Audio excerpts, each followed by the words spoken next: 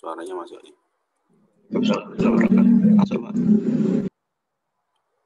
Oke.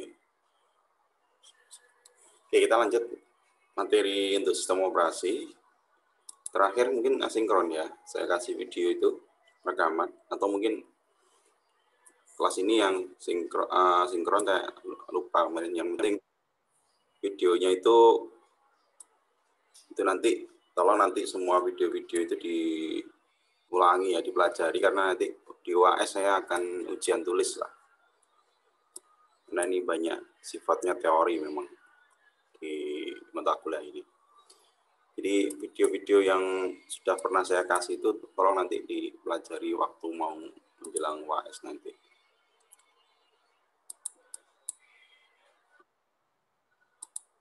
Oke, intinya di sistem operasi ini kita kan ya memahami tentang operating system. Di operating system ada berapa fungsi? Ada lima fungsi utama, itu kan? Lima fungsi utama dari operating system. Uh, operating system untuk memanajemen file sudah pernah kita pelajari. Yang terakhir kemarin adalah untuk memanajemen proses Kemudian manajemen memori itu sebenarnya sudah pernah kita bahas di pertama kali awal-awal itu dulu. Nanti saya lihat lagi videonya apa cukup materinya itu yang banyak berbicara masalah eh, lo, apa analogi ember game permainan itu loh. Nah, itu di situ. Kemudian yang interface kita malah sudah praktek ya.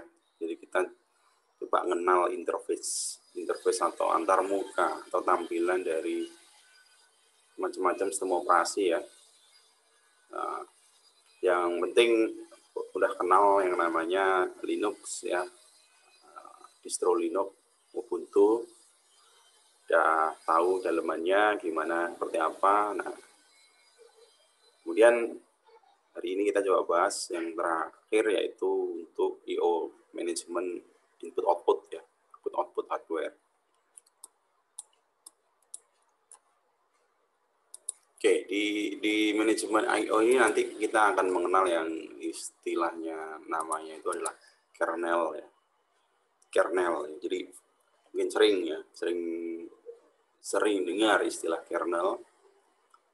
Ya, jadi kalau digambarkan secara blok diagram itu kernel itu posisinya berada di tengah-tengah dia itu penerjemah ya penerjemah atau yang menghubungkan antara software dengan hardware gitu aplikasi dengan hardware kita tahu sendiri hardware di komputer itu banyak ya jadi uh, yang ada di motherboard yang nempel di situ itu semuanya hardware itu ya mulai dari mikroprosesor kartu grafis sampai dengan mouse, keyboard, ya.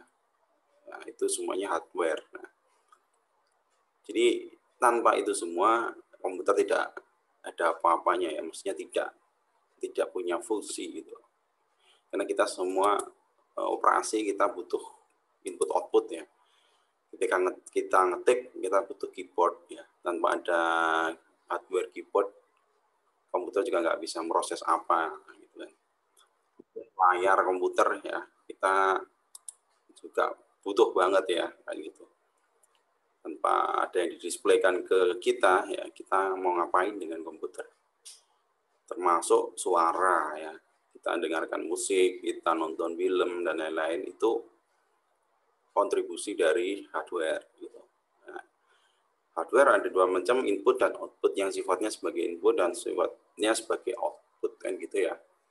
Saya kira semuanya bisa paham lah bedanya input input hardware sama output hardware. Input yang sifatnya satu uh, ke arah masuk ya masuk ke dalam komputer ya. Contohnya ada mouse ya, keyboard ya kan. Termasuk apa webcam juga termasuk. Kalau output yang sifatnya keluar ya tampilkan ke kita atau di outputkan ke kita. Contohnya adalah sound, ya kan? Sound, kemudian layar, dan apa lagi? Eh, lampu mungkin, nah, banyak ya. Jadi itu semua ya. Jadi prosesnya tetap komputer itu ibaratnya berada di tengah-tengah ya. CPU itu berada di tengah-tengah. Dia memproses input dan memproses output ya. In dan out. Nah, ini kan sebenarnya kalau di komputer seperti itu ya, uh, hardware-nya. Nah, tapi kalian kan juga belajar yang namanya embedded ya, embedded system ya, embedded system. Saya tahu kalian sekarang mengenal atau dapat project di mata kuliah sensor pakai uh, ISP ya, ISP 8266. Sebenarnya ada versi kakak kelas kalian sekarang pakai ESP 32 nah, sebenarnya hampir sama aja ESP 32 itu pengembangan dari 8266 ya. nah itu semuanya kan ada kaki-kaki itu. Sama kan? Kaki-kaki ini uh, bisa ber, ber, bisa difungsikan sebagai inputan ataupun outputan kan gitu. Cuma bedanya kalau komputer ini input outputnya sudah di apa ya sudah direkayasa sedemikian hingga sehingga inputannya itu udah kelas berat intinya ya. Jadi kayak misalkan keyboard ya. kemudian kayak oh ya tadi output ada printer. Kemudian ada mouse gitu kan. Nah ini sebenarnya yang dikirim ke sini juga yang dimasukkan ke komputer itu sama dengan konsepnya sama dengan yang di sensor itu. Kalau kalian kemarin praktek di sini pakai sensor uh, apa? DHT DHT DHT 11 ya itu keluar, uh, keluaran dari sensor ini adalah suhu dan kelembapan gitu ya. Jadi uh, sensor ini tuh bisa memproduksi nilai suhu sama kelembapan. Nah dua data ini kan langsung diinterfacekan ke dalam satu pin atau satu kaki ya, ya, ya kurang lebih sama ya.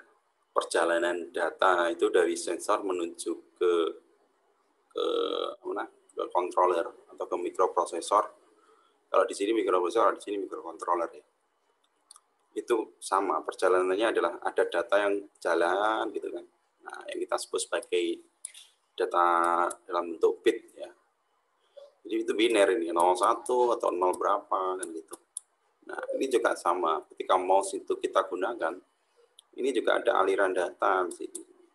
Aliran data biner. Berapa? Katakanlah keyboard nih. Keyboard nih yang kita kenal istilahnya apa? QWERTY. Jadi uh, urutan-urutan di hardware, eh di keyboard ada huruf Q, W, E, R, T, I, E kan gitu.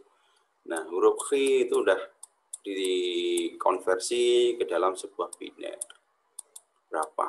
Nah, yang kita sebut sebagai ASCII. ASCII code ya, ASCII kode atau kode ASCII. Jadi penting nih kode ASCII ini. Jadi semua yang ada di keyboard itu sebenarnya sudah ada tabel, sudah ada konversinya gitu. Ya, ASCII code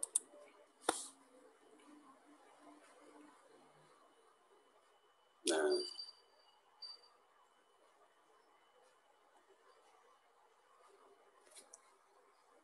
Nah ini. Jadi huruf B itu kalau kita ngetik huruf B itu nanti komputer akan menerjemahkan itu ke rangkaian huruf biner atau kode biner. Kode biner 8 bit ya. 1 2 3 4 5 6 7 ya. Harusnya 8 ya. Nolnya nggak tulis. Ya. Jadi seperti ini kode biner itu setiap huruf intinya semuanya akan diubah ke dalam bentuk binary itu.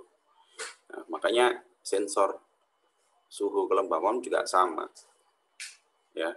Cuma yang dia kirim kan bukan kayak ngirim uh, huruf di keyboard ya, tapi dia ngirim langsung nilai suhu sama kelembapan. Nah, nah itu berarti ada proses pengiriman binary ya, kode biner ke dalam uh, mikroprosesor. Kalau di sini ya mikroprosesor, kalau di sini mikrokontroller. Ya. Outputnya juga sama ya. Kalau kalian udah belajar di situ outputnya pakai apa? LCD. Nah, LCD. Nah, itu juga keluar kan dari kaki-kaki outputan ya. Yang keluar ke sini apa? Sama, binary juga. Nah, di sini misalkan kita mengeluarkan itu ke sebuah tampilan monitor LCD, monitor ya, sorry, monitor gitu ya, itu juga sama.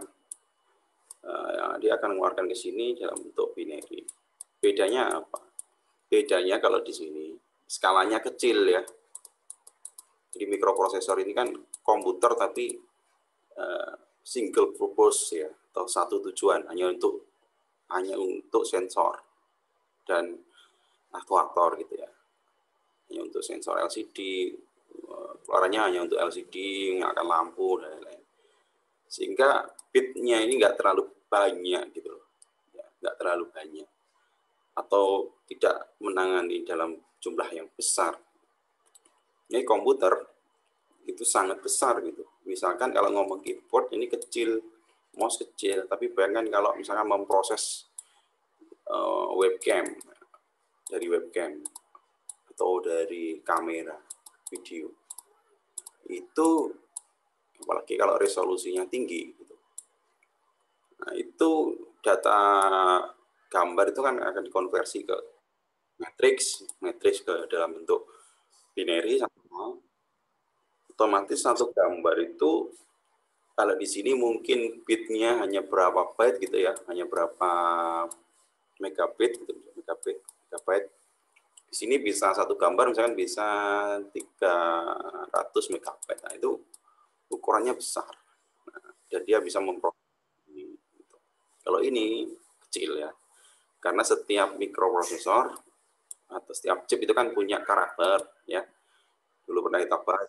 Jadi eh, ROM-nya berapa, memorinya atau registernya kemampuannya itu berapa tidak bisa dibandingkan ya atau disamakan. Mikroprosesor itu ibaratnya mikroprosesor yang punya ruangan memori besar gitu. Tapi kalau mikrocontroller dia itu kecil gitu ya. Karena memang yang ditangani hanya data-data yang kecil. Ibaratnya kalau di sini butuh ember, embernya nggak sebanyak di mikroprosesor. Ya. Ingat ember itu fungsinya untuk mewadahi. Nah, intinya di komputer itu yang harus benar-benar dipahami adalah konsep daripada memori ya. Memori itu ada banyak. Nah, yang kalau di dalam mikroprosesor di dalam komputer namanya register. Nah, kenapa butuh register ya kemarin kita lihat kan setiap operasi di komputer itu di mikroprosesor itu ada operasi perpindahan dari satu register ke yang lain. Ya ibaratnya air itu dipindah-pindahkan. Ya di dalam mikroprosesor itu air itu berjalan dipindah-pindahkan. Nah, cara pindahnya menggunakan ember. Ember di sini adalah register ini. Nah, kurang lebih gitu ya.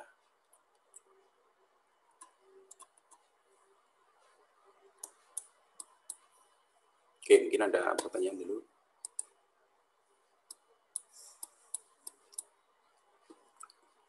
Nah, sekarang uh, di bagian ini, bagian manajemen apa hardware, kita kenal istilah kernel gitu ya. Jadi kernel ini uh, secara istilah dia itu menjembatani lah, dia itu aplikasi ya, dia itu software yang menjembatani uh, hardware dengan software.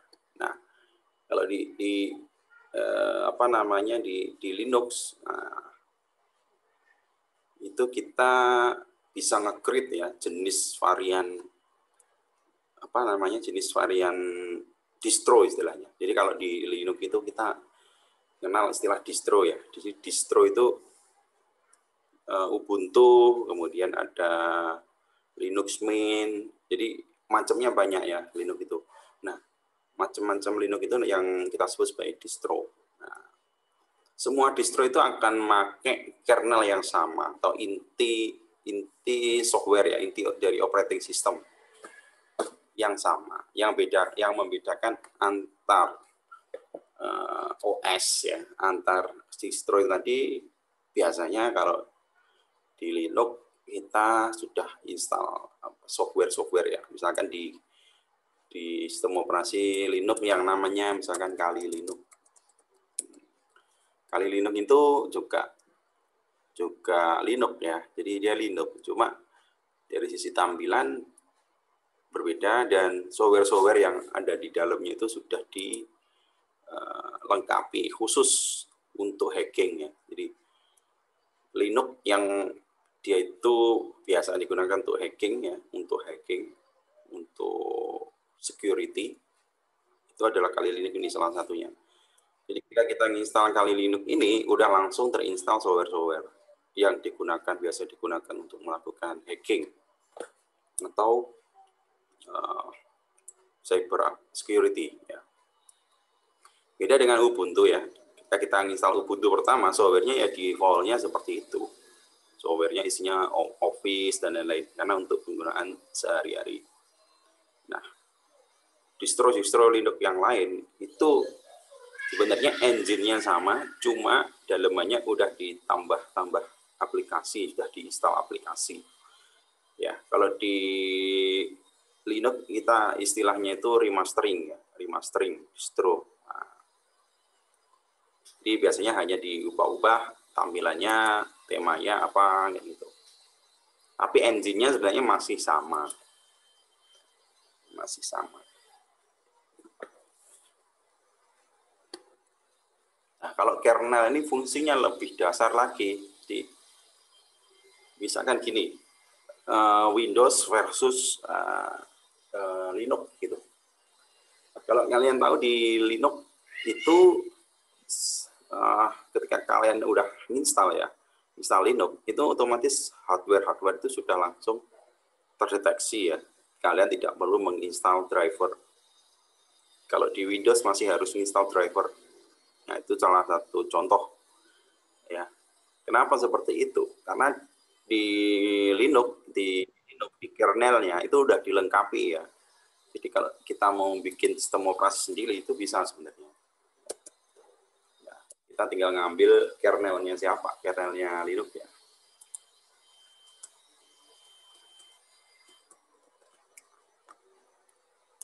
Nah, dari ini open source. makanya yang disebut open source itu itu.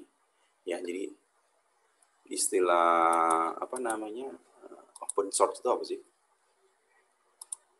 Kode terbuka. Ya. Open source. Nah.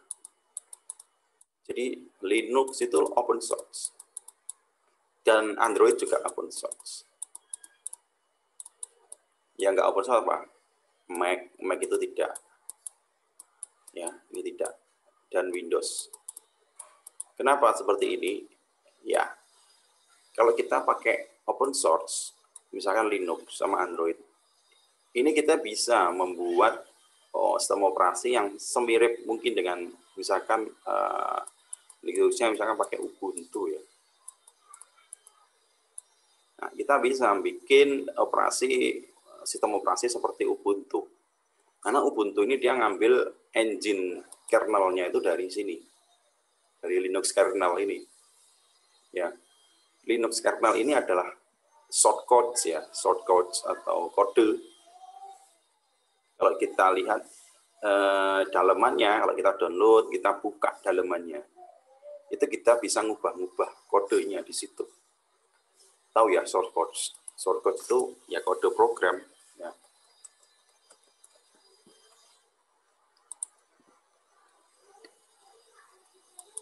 Kalau kalian kemarin udah belajar C++, C, nah itu source code. Dalamnya kan kalian ngetik sebuah program kan. Nah, sebuah sistem operasi itu kan juga dibangun dari rangkaian kode-kode seperti itu.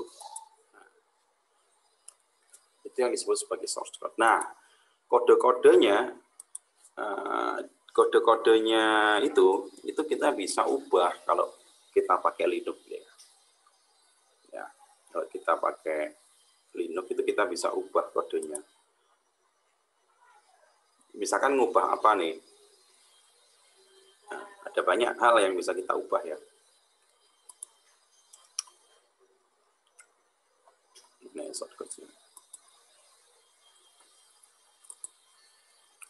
Nah, misalnya kayak gini ya. Jadi shortcutnya sih biasanya uh, pakai bahasa-bahasa kayak C gitu. Karena C ini bahasa yang bahasa mesin. Nah, kode-kode di dalam ini kita bisa ubah. Contoh misalkan kita mau ubah apa ya? Contohnya sistem operasi yang kita buat ini misalkan apa dia hanya support hardware keyboard yang mereknya apa misalnya. Itu bisa. Kita mungkinkan seperti itu. Dia hanya support uh, uh, komputer itu hanya support merek-merek hardware yang mereknya Logitech misalnya jadi kalau ditancepin merek-merek selain Logitech nggak bisa kita itu sangat mungkin dilakukan.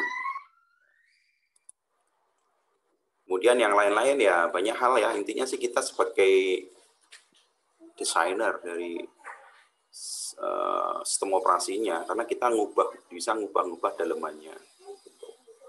Kenapa bisa ngubah? Karena kodenya memang dibuka.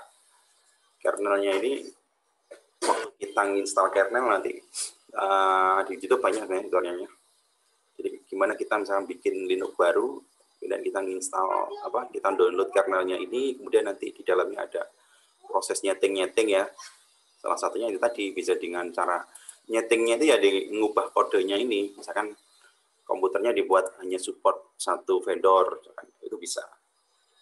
Nah, di, bag, di bagian pada saat menginstal itu tadi juga bisa disetting. Misalkan komputer ini nanti sudah support uh, kalau biasanya kalau kita barusan install ulang Windows itu biasanya masih harus install apa aja sih? Install driver display biasanya ya. Install drivernya kartu grafis atau monitor atau VGA itu pasti biasanya install dulu biar tampilannya bisa diatur brightness-nya misalnya atau install driver audio. Karena kadang kalau kita install Windows itu audionya belum terdeteksi ya. Nggak bisa buat play musik gitu. Harus diinstal dulu driver nah dengan menggunakan, menggunakan kalau kita bikin sendiri OS pakai kita setting sendiri dari awal kernelnya ya. Jadi ketika waktu mau develop pertama itu udah dimasukkan driver-driver semua merek itu udah dimasukkan di situ udah diinstal lah intinya gitu nah, sehingga nanti kalau udah di di compile ya udah jadi installer gitu. Jika kalian install Linux itu setelah selesai install kalian nyalakan lagi semua hardware-nya udah terdeteksi itu soundnya udah bisa langsung buat di play musik kemudian tampilannya udah bagus sudah bisa brightness-nya udah muncul udah bisa diatur dan lain-lain kenapa bisa seperti itu karena di bagian kernelnya ini waktu pertama kali dia eh, setup ya atau dia mau ngompil itu semua merek pabrikan hardware itu sudah diinstalkan di situ. Nah, berarti konsekuensinya apa? Konsekuensinya installernya itu akan membengkak ukurannya. Ya, kayak kalau kalian bisa lihat installer-installer OS itu ya, operating system itu uh, ukurannya mesti di atas 1 giga. Ya, misalkan Windows itu berapa? 4 giga mungkin ya. Nah, jadi kenapa bisa besar ya? Karena di dalamnya udah dimasukin banyak hardware apa uh, driver hardware. Nah. Berarti kalau pengen ukurannya kecil gimana? Ya udah nggak usah diinstal dari awal nggak usah diinstal hardware hardware device-nya, drivernya nggak usah diinstali. Jadi tapi konsekuensinya waktu pertama kali dinyalakan WiFi belum detect, display belum detect, sound belum detect, display belum detect. Jadi harus install manual satu-satu. Nah, tentunya kan merepotkan ya. Tapi konsekuensinya adalah nanti ukuran atau size dari installernya itu akan mengecil gitu. Ya. Jadi seperti itu ya, kernel itu posisinya seperti itu. Nah, kalau secara teori eh, nah ini secara teori ini ya. Jadi di salah satu fungsi dari operating system ya, jadi kernel itu di, dia nempel di bagian ini ya, manajemen hardware. Nah, hardware management. Oke, kalau kita lihat di sini salah satu tugas yang penting dari sebuah sistem operasi itu selain memanage memori, memanage uh, scheduling yang kemarin itu manage proses ya. Juga dia memanage file system, dia juga harus memanage I/O gitu. I/O itu ya tadi saya uraikan ada ini ya. Nah, di sini ada dua jenis apa eh, kategori device. Satu kategori block yang namanya block devices sama character device. Maksudnya apa? Maksudnya tadi ya. Jadi contoh dulu block device contohnya adalah hard disk, kamera. Nah, ini yang gede-gede ya. Kalau karakter device contohnya adalah serial port, parallel port, sound card, ya jadi kalau buat interfacing ini biasanya buat ngeprint atau kalian bermain dengan Arduino atau hardware kontrol controller hardware itu menggunakan serial-serial ini. Pada parallel port ada serial port ya. Saya nggak tahu dibahas nggak ya ini ya. E, karena sekarang umumnya komputer-komputer baru itu parallel portnya udah nggak rata-rata nggak dihilangkan. Oke lah, kita bahas dulu.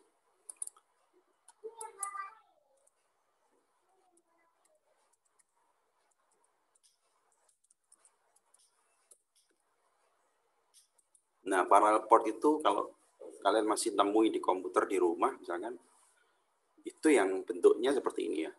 DB25 misalnya, ada 25 lubang. Gitu. Nah, DB25. Ini jenis nya beda dengan yang USB. Kalau USB itu kita sebut sebagai serial. Ya, kalau ini namanya paralel. Nah, bedanya apa? Ini jarang dipakai kan sekarang hardware-hardware jarang banget yang pakai ini. Tapi kalau dulu hardware banyak yang pakai misalkan buat printer dot metric, printer-printer buat di wartel dan lain-lain itu atau di aduh wartel aja kalian mungkin udah nggak nemu ya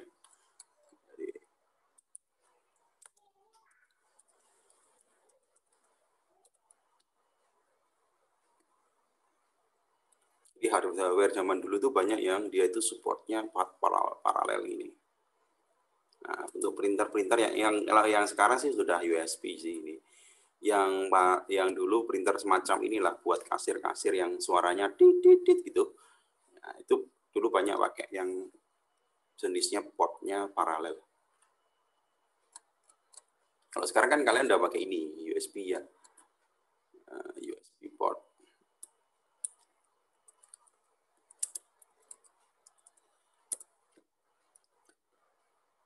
Ini ini udah USB port, bahkan sekarang udah versi 3 ya, versi 3.0. Nah, ini USB 3.0. Kecepatannya udah beda dengan yang dulu-dulu.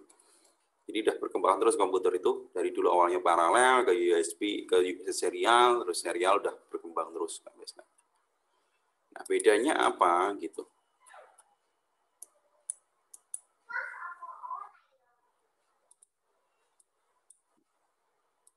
Jadi port di komputer itu kalau kita lihat ya CPU lah itu mungkin masih ada yang pakai port paralel di sini. Nah, bedanya port paralel itu misalkan di sini ada 25 lubang tadi ya, DP25. Nah, setiap lubang ini nah, jadi gini. Kalau saya punya printer ya. Saya udah barusan ngetik di sini ya. Saya mau print otomatis diperintahkan untuk ngeprint ke sini kan. Nah, konsepnya itu yang membedakan dengan uh, eh, USB atau serial itu adalah cara pengirimannya. Jadi kalau binary-nya itu misalkan ngirim huruf A, A itu kan 1, 0, 0, 1, 0 misalkan ya. 6, 7 misalkan. Nah, huruf A itu dia akan kirimkan setiap bitnya itu di setiap kabelnya ini ini ya. Jadi satu itu dilewat dikirim lewat kabel yang ini, nolnya kirim lewat sini, nolnya lewat sini, satunya lewat sini. Dikirim secara bersamaan. Berarti apa? Apakah berarti lebih cepat tuh? Berarti cepat dong. Iya. Jadi kelebihan dari port paralel itu cepat ya, karena data bit itu dikirim secara serentak. Kalau misalnya ada 8 bit, ya semua kabel dipakai buat ngirim bareng. Kalau jalan istilahnya jalan itu ya ada banyak ruas jalan lah. Tapi dia punya kelemahan. Kelemahannya adalah panjangnya itu nggak bisa panjang-panjang banget. Paling berapa satu meter itu udah banyak yang lost datanya ya atau hilang. Nah, beda dengan yang eh, USB yang sekarang. USB itu punya keunggulan dia bisa panjang, ya, bisa 5 meter, bahkan kadang 10 meter aja masih bisa dia. Nah bedanya ini satu, jalannya cuma satu. Nah jalannya cuma satu, sehingga data ini akan di, dikirim secara berurutan. Ya. Dimulai dari bit yang pertama, satu dia ngantri di depan, belakangnya nol, nol, nol gitu. Ya, jadi berurutan terus. Nah, tapi ininya ya cepat juga gitu loh. Jadi tidak lambat-lambat, tidak tidak lambat, tapi ini tetap cepat ya. Nah, ini ini yang membuat unggul ya bisa panjang. Sehingga lebih ringkes ya, karena kalau 8 kalau pakai port paralel itu kita harus menyediakan kabel yang banyak. Nah, kalau pakai serial kita sudah cukup satu kabel, kita bisa kirim data itu secara berurutan. Nah, block device ini hampir sama kayak gitu ya. Jadi eh, kalau block device ini maksudnya alat-alat yang dia itu mengirimkan data dalam jumlah yang langsung besar. Ya, contohnya adalah eh, apa di sini? Contohnya adalah hard disk kamera. Jadi kayak yang saya bilang tadi, kalau kita capture sebuah gambar itu kalau di convert ke biner itu udah binernya udah gede banget ini jadi satu gambar ini eh, misalkan gambar foto ya, foto-foto sekarang kamera digital itu sekali jepret kurangnya bisa 5 megabyte itu. Ya, 5 megabyte itu kalau dikonversi ke biner, binernya udah berapa kan banyak urutan binernya. Nah, ini harus di kita transfer satu gambar ke komputer, berarti satu blok data ini ya, ukurannya langsung besar, langsung dikirim ke sini termasuk juga eh, apa tadi eh, hard disk. Hard disk itu maksudnya kita ngopi misalkan game gitu ya installernya game atau apa yang ukurannya itu besar. Sekali kita transfer ke sini itu kan ukurannya langsung satu blok kode biner yang sangat besar. Nah maksudnya itu gitu. Kalau ini maksudnya yang kecil-kecil ya. Misalkan ngirim karakter termasuk keyboard Misalkan keyboard, kita punya keyboard, kita ngetik huruf A, K, U gitu kan. A, K, U ini kalau dikirim kan binernya hanya 38 kali 3 kan gitu, 8 kali 3, 24 bit ya. Nah, 4 bit dikirim ke sini. Ini kecil ya, beda ketika kita ngirim yang dalam bentuk blok yang besar seperti ini. Nah, oke lanjut dulu.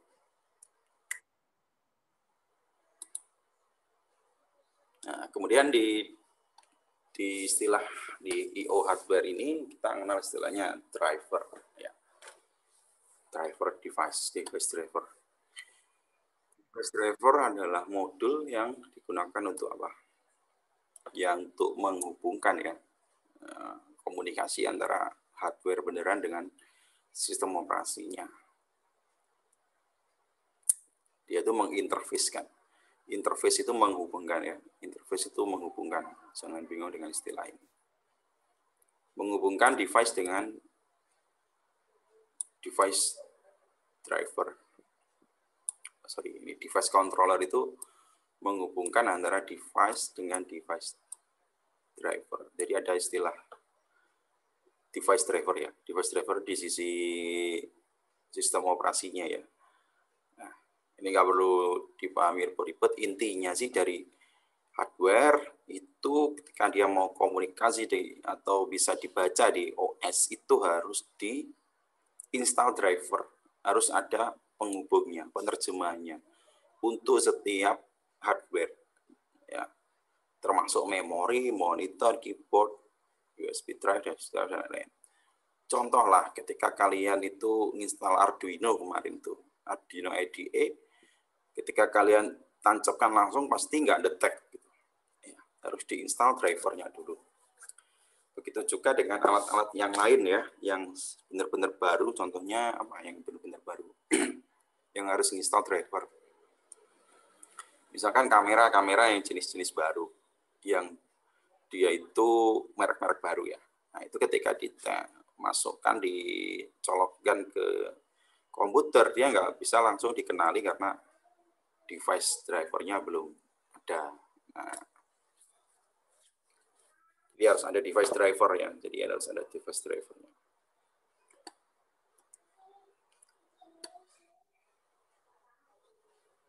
Nah, ada sekarang ngomong cara komunikasinya. Ada yang sifatnya sinkronis dan asinkron ya, tahu ya bedanya. Jadi kalau sinkron itu saling menunggu, kalau asinkron itu bisa disambi, gitu. bisa jalan bareng. Kemudian komunikasi alat uh, eh, I/O itu ada tiga jenis, ada yang pakai special instruction, memory, dan direct memory access. Special instruction ini apa?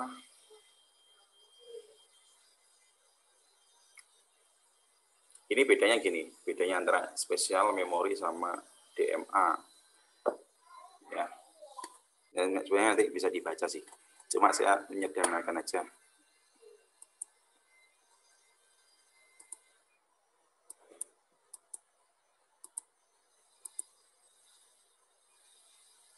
Oke, jadi kita lihat dulu ya. Kalau bagian dari mikroprosesor itu kan di dalamnya ada CPU, ya. Kemudian ada apa lagi? Ada ALU. Kemudian ada register atau memori dan gitu.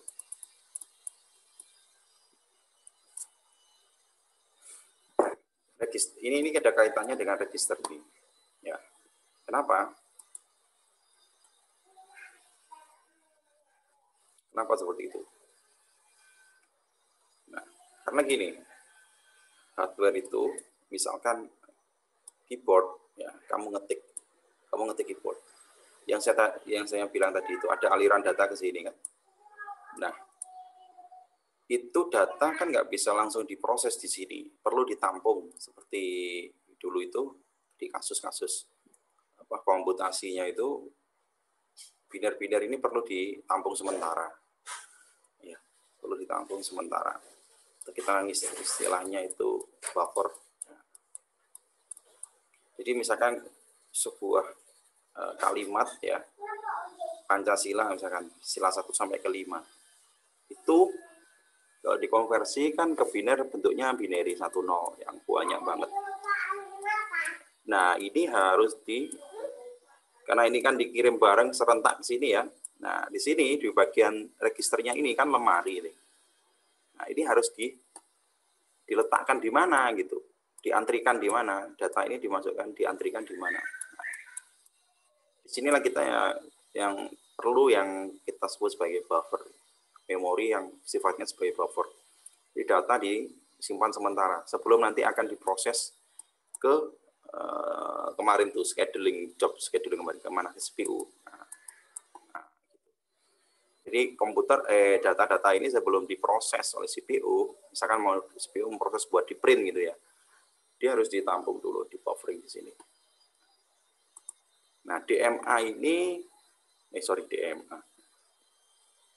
Nah di sini ini ketiganya ini punya strategi yang berbeda untuk mengantrikan tadi, untuk mengantrikannya ini atau memanage data masuk itu.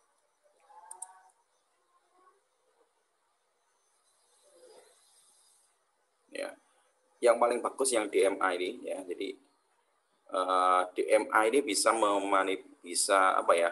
Misalkan ada hardware banyak masuk ya. Karena kan sering ya. Uh, hardware itu misalkan kita lagi main eh, lagi operasikan komputer gitu ya.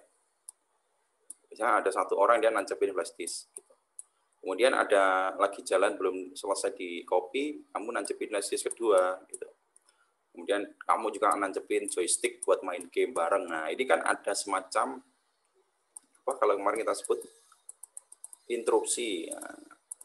Proses yang ini belum selesai udah diinterupsi, ada hardware baru masuk. Ini ada hardware baru masuk. Nah, ini ada proses interupsi.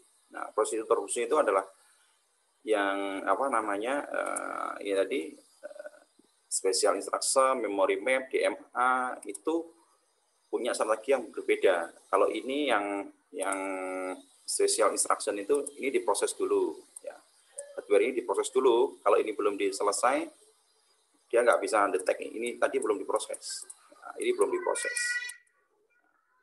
Yang paling baik yang pakai DMA ini, DMA ini memungkinkan buat langsung walaupun ada banyak device yang ditancepin langsung ya dia bisa kenal semua dan akan dilayani semua.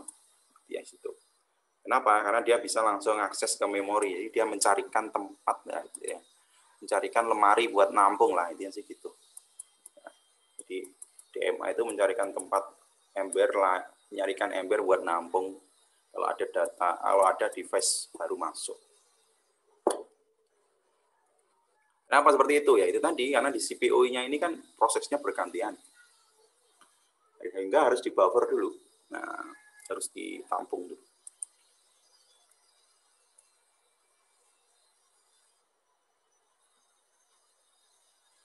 Nah, tanpa harus masuk ke CPU. Jadi kalau di special instruction memory map ini ada koordinasi lah intinya sih gitu. Ada koordinasi dulu dengan CPU ini. Nah, dengan CPU ini. Sebelum masuk ke register, dia tanya dulu ke CPU. Kalau DMA itu sudah langsung masuk ke register sini, dia nyarikan blok lemari yang kosong dia masukkan di situ.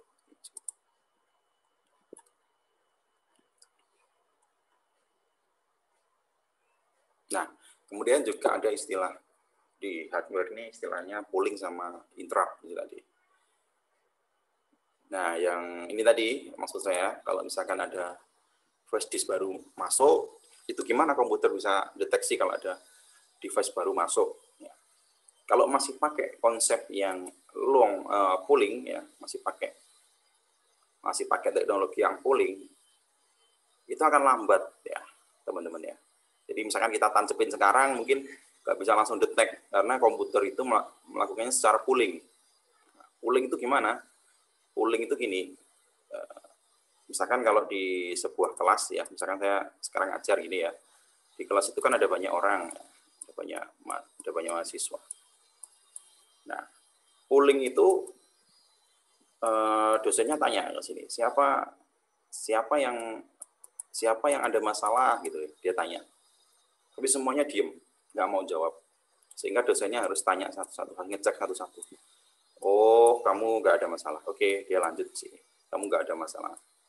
Oh ini ada masalah. Ini baru diproses. Nah, oh ini nggak ada masalah. Ini nggak ada masalah. Nah itu namanya pooling. Ya. Ibaratnya apa? Kalau di sini? Oh, sistem operasi itu dia akan ngecek ke setiap hardware, ngecek dulu setiap hardware uh, ada hardware baru enggak. Jadi ke setiap port itu ditanyai dia. Jadi kalau misalkan di CPU itu kan atau di komputermu kan ada banyak port ya kan, ada port USB. Itu ada berapa itu? Misalkan ada tiga. Nah, kalau CPU kan banyak di, di belakang juga ada. Nah ini sistem operasi itu akan ngecek satu-satu ke sini oh ini masih ada nancep. Oke. Oh ini masih kosong. Dicek satu-satu. Oh ini nggak ada hardware baru. Gitu. Sehingga proses kalau misalkan kamu nancepin flash disk ke sini, itu masih nunggu karena dia masih ngecek yang port yang lain. Gitu. Nah, beda dengan konsep yang atau teknologi yang sifatnya sudah interrupt. Ya. Interrupt itu si OS-nya tidak aktif ya, jadi dia pasif ya, dia nggak nggak ngapa-ngapain. Jadi dia langsung kalau misalnya ada uh, flash disk nancap ke sini, nah si portnya ini yang akan ngasih tahu ke sistem operasi. Eh hey, ada hardware baru masuk, nancap, tolong diproses. Nah gitu kurang lebih. Kalau di sini di kelas tadi si dosen nggak perlu nanya siapa yang sudah selesai, tapi eh, siapa yang mau tanya gitu kan, nggak perlu tanya ke semua, nggak perlu ngecek satu-satu, tapi mahasiswanya yang langsung acungkan tangan, Pak saya ada masalah. Gitu. Oke, dia langsung tangani situ. Oh, Pak saya ada masalah. Nah, ini konsep yang seperti ini yang kita sebut sebagai interrupt ini. Sehingga sekarang komputer-komputer baru udah meninggalkan yang OS, sorry, OS-OS baru meninggalkan yang pooling, tapi udah pakai yang konsep interrupt.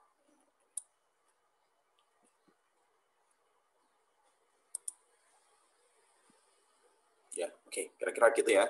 Untuk ini, barangkali ada pertanyaan mungkin.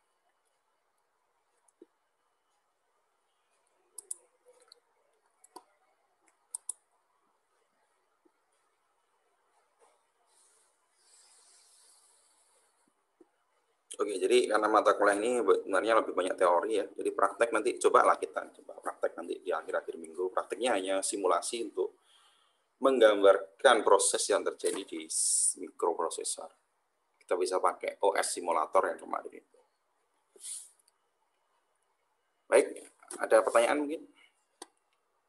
Oh ya, untuk semester depan itu masih belum resmi ya, jadi tetap nunggu pengumuman resmi apakah jadi daring apa eh luring apa enggak?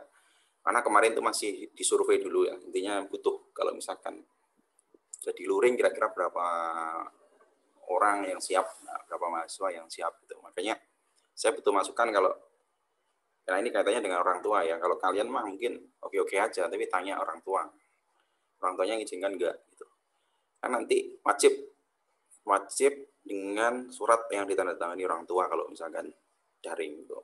Eh, kalau misalkan luring. Nah, masalahnya adalah untuk bidang minat kita itu ada kompetensi jaringan ya untuk uh, network ya jaringan. Sebenarnya praktek dibuat online juga bisa, cuma nggak akan beda beda lah hasilnya ya kalau dengan megang hardware langsung gitu. Sehingga jaringan ini perlu perlu megang hardware. Misalkan nanti kalian harus uh, krimping kabel ya, harus caranya gimana bikin kabel LAN, kabel UTP itu, kemudian gimana nyeting router dan lain-lain. Nah, itu kalau nggak lihat bendanya nggak megang itu pasti rasanya beda nanti. Ya, makanya untuk bidang minat ini di, diusahakan adalah bisa luring gitu. Oke, kira ada pertanyaan?